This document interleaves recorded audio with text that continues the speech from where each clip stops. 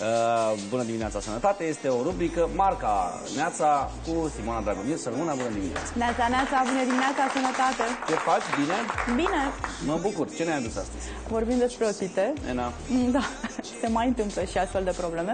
Deși otita este considerată o boală a copilăriei, nici adulții nu sunt uh, scutiți de neplăceri. Statistic s-a demonstrat că până la vârsta de un an, unul din șase copii face un episod de otită. Ce este otita? De ce apare și cât de gravă poate fi? Netratată, otita poate duce chiar la pierderea auzului. Ce este de făcut, aflăm imediat. Neața cu Răzvan și Dani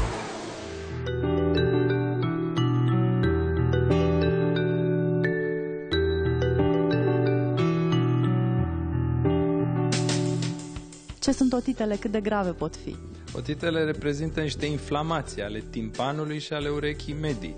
Inflamațiile acestea pot să apară în urma unor infecții virale sau mai grav infecții bacteriene. De asemenea, pot să apară otite externe când se inflamează doar conductul auditiv extern, spre exemplu la mare sau când ne scărpinăm excesiv în ureche. Și aici mă refer la bețișoarele de ureche folosite în exces. A nu se înțelege că sunt împotriva folosirilor, ele au o utilitate. Toaleta urechii trebuie făcută cu moderație după baie. Urechea nu trebuie să rămână udă după baie. Apoi căștile care sunt folosite de asemenea excesiv pot produce leziuni la nivelul urechii externe și este bine să fie evitate. Sprayurile de ureche nu sunt contraindicate, dar ele sunt destinate mai mult extragerii corpilor străini sau toaletei locale auriculare.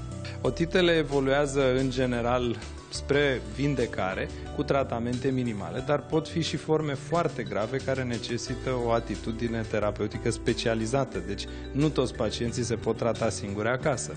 Ca să ajungem la medic, ar trebui să ne sperie ceva, să avem anumite simptome, anumite probleme. Care sunt acestea în momentul în care ai otită? În primul rând, durerea de ureche, care este extrem de supărătoare și de foarte multe ori sperie pacientul. Apoi, secreția din ureche. Dacă apare o secreție purulentă, uneori chiar sanguinolentă din ureche, pacienții se sperie și de obicei vin la camera de gardă. Apoi, scăderea de auz. Uneori este neglijată, dar poate fi un semn de otită și este bine ca pacientul care are o scădere bruscă de auz să se prezinte de urgență la un medic specialist.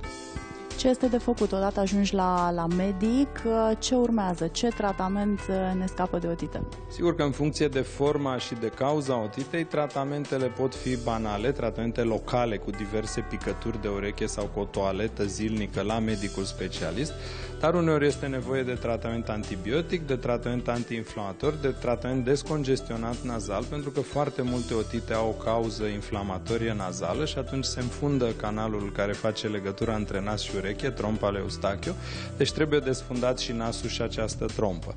În situații mai grave se ajunge chiar la intervenții chirurgicale mai mici, de mică amploare, cum ar fi timpanotomia. Aceasta înseamnă practicarea unei incizii la nivelul timpanului pentru a se scoate puroiul din spatele timpanului și a evita o perforație de timpan, care ulterior nu se vindecă corespunzător, iar pacientul poate rămâne cu sechele pentru toată viața.